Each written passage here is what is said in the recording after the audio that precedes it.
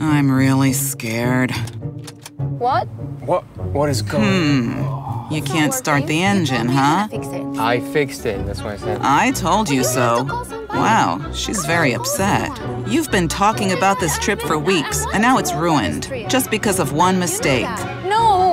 Why I purpose? Uh-oh, she's really mad. Or him. But at least you're safe. Can you imagine what could have happened on the way? Going out. I, I'm not going Please anywhere. this. Eh, it's not gonna. It's not gonna. Wonderful.